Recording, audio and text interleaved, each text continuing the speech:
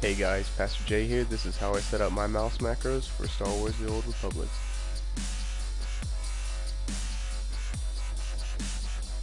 Okay, open your preferences, key bindings, quick slots, scroll down to your left, quick slots 1 through 3, and I reassign mine to 0, tack, and equal sign.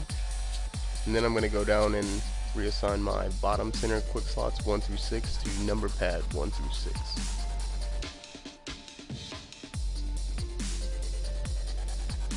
Then slot in your relics, abilities, or adrenals.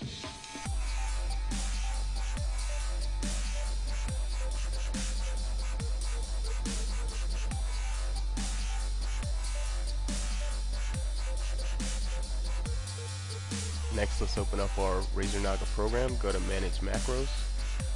I've already got a few made, so this is what they'll look like whenever they're done. Right now we're going to go and make a new macro, name it whatever you want.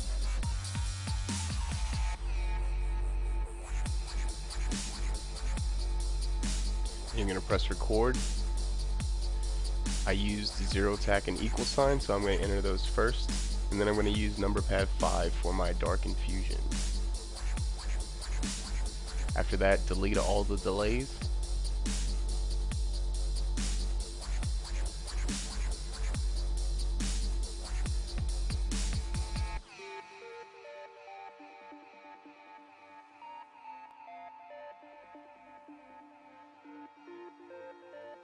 And this is what it'll look like whenever it's done.